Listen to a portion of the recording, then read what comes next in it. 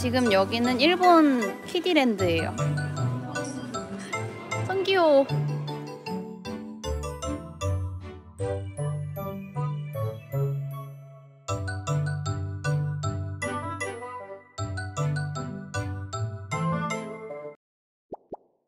안녕하세요. 오늘은 일본의 키덜트샵 세 곳을 소개할게요. 제가 방문한 후쿠오카 로프트는 5층에 캐릭터 굿즈샵이 있었고요. 에스컬레이터로 올라가자마자 정면에 보이는 수많은 커비 인형들 한 벽면을 가득 채운 커비 인형과 수많은 굿즈들이 있었어요.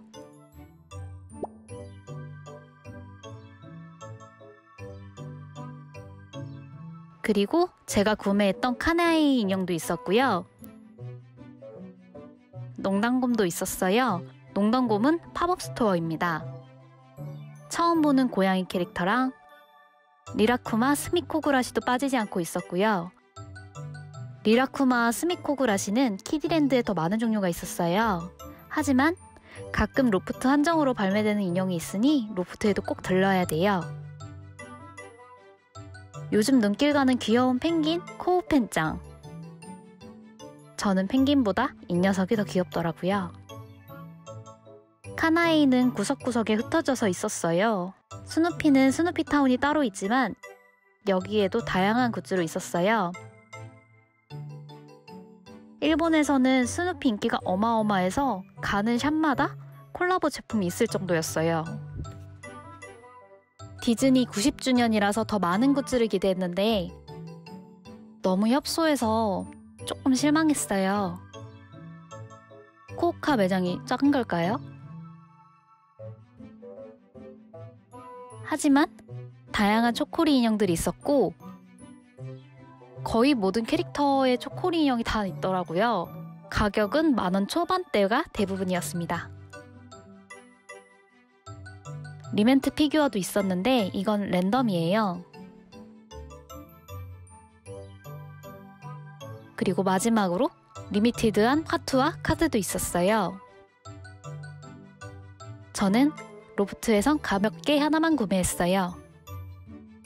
거리를 걷다가 우연히 만난 하와이 키티. 이렇게 일본에서는 지나가다가도 귀여운 캐릭터 상품을 만날 수 있어요. 다음으로 소개할 키덜트샵은 키디랜드예요. 후쿠오카 키디랜드는 텐진역에 위치한 파르코 백화점 8층에 있어요. 저는 소프트뱅크 토카게를 구매하러 왔어요. 아크릴 키링과 랜덤 배지, 주머니와 핸드타올. 핸드타올은 디자인이 다 펭귄이었어요. 토카게는 얼굴 자수가 예쁜 아이로 골라왔고 기념으로 좋을 것 같아서 랜덤 배지도 한번 골라봤어요.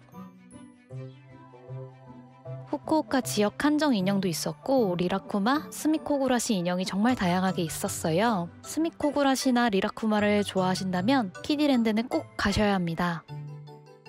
모찌 쿠션 한 번 더 킁킁거려 보기. 하지만 결국 못 샀네요. 이렇게 결제 끝. 다음은 무기와라 스토어로 go go!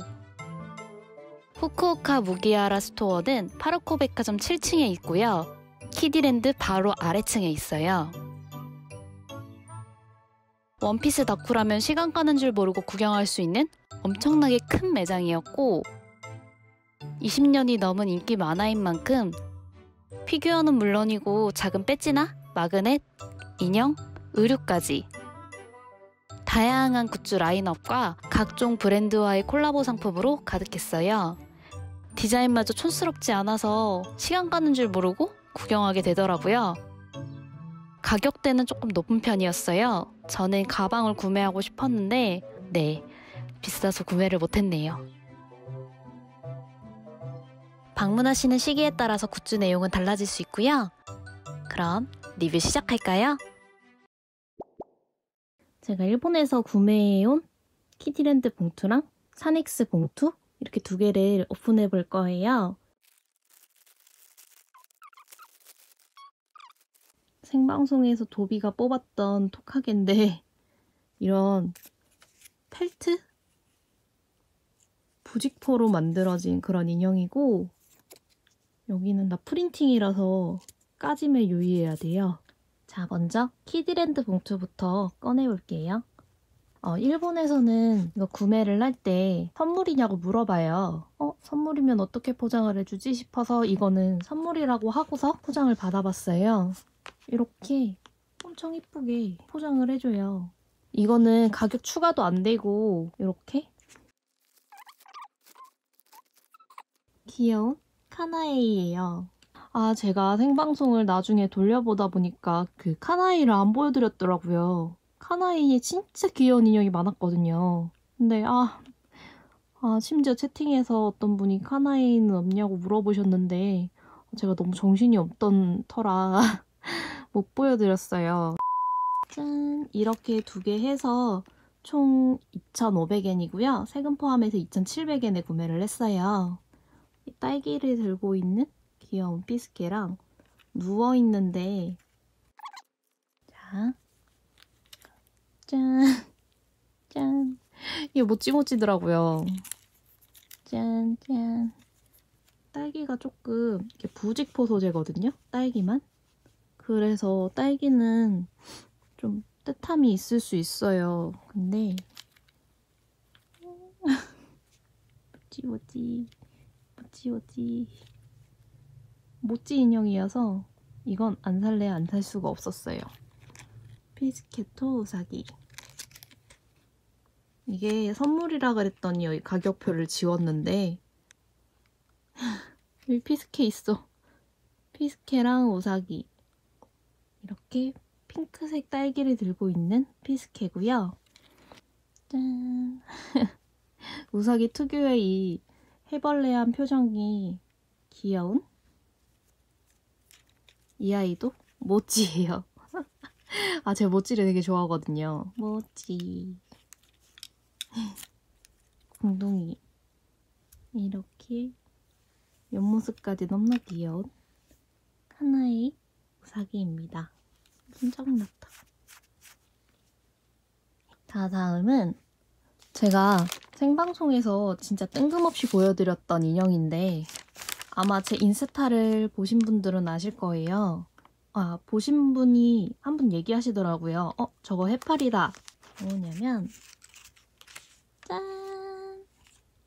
이 아이는 진배상에서 이번에 새로 나온 캐릭터인데, 토리쿠라게라는, 토리는 새고요. 쿠라게는 해파리란 뜻이에요. 그래서 이 부리가 있는 약간 새 얼굴을 가진 해파리예요.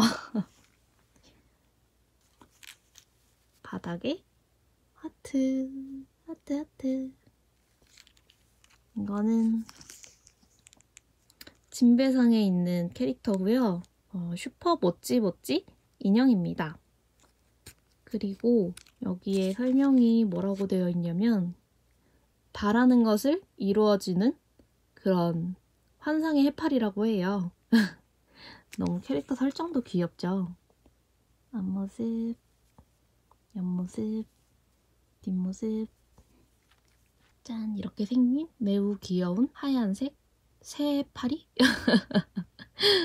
새파리네요. 요렇게 일단 이게 첫날에 산 인형들이에요. 그리고 짠 뜨든 뜨든 힝 토카게입니다. 후쿠오카 야구팀이 소프트뱅크예요. 그래서 제가 방문한 당일에 사닉스랑 야구팀이랑 콜라보 제품으로 모든 야구단 엠블럼을 인형에 입혀서 나왔더라고요. 근데 제가 갔던 후쿠오카는 소프트뱅크가 팀이었기 때문에 소프트뱅크예요. 얘가 조그만 게 나왔으면 정말 좋았을 텐데 큰 거밖에 없어서 큰 거를 샀어요. 보시면 스미코그라시 소프트뱅크 코오카 어, 가격표가 붙어 있네요. 짠, 앞모습, 옆모습, 옷이 터질라 그러네요. 뒷모습, 옷이 매우 빵빵하고 터질 것 같지만 귀여운 스미코고라시 토카게입니다. 제가 컬러 중에 노란색을 제일 좋아하는데 소프트뱅크가 노란색이라서 그 점은 좀 마음에 드네요. 짠!